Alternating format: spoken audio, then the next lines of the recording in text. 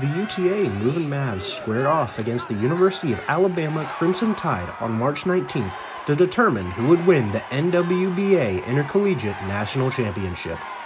This game was a perfect rematch of last year's national championship, where the Movin' Mavs defeated the Crimson Tide 66 to 51.